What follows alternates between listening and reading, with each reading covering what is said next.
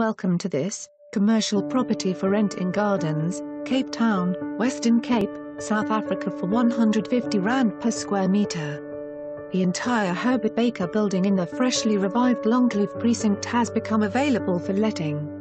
This historical building offers 1880 square meters of traditional classroom accommodation suitable for educational purposes in view of its floor layout and its close proximity to the bygone epicenter, close to the company's gardens.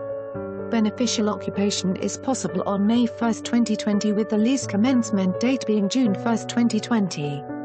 The asking rental is a 150 per square meters gross, excluding VAT and the 20 allocated open parking bays will attract a rental of R850 per bay per month, excluding VAT. Hilton Hotels has announced the development of a 150-room canopy by Hilton on the corner of Park Road and Kloof Street, which is expected to trade in 2021. For more information, please do not hesitate to contact me at any time. For more information on this property or to arrange a viewing please contact us.